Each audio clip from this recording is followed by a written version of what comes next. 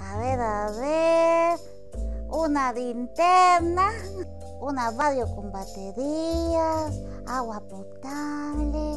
¡Hola! Soy la monstruo del cuarto y ya estoy preparando mi plan de emergencia familiar que incluye tener un maletín de emergencia.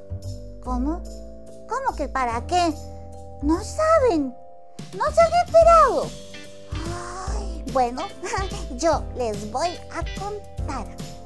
Este año, el tercer simulacro nacional de evacuación será por la noche y la Comisión Nacional de Emergencia hizo un estupendo micrositio donde explican qué hacer en caso de que ocurra una emergencia.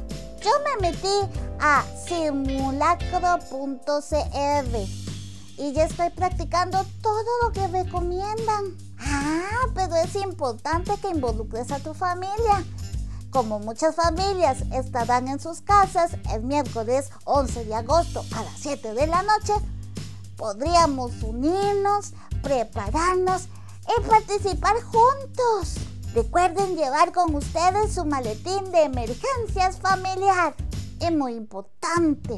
Recuerden que también debemos evacuar a nuestras mascotas. Ojalá todas las niñas o niños, personas con discapacidad y sus familias participen en el simulacro.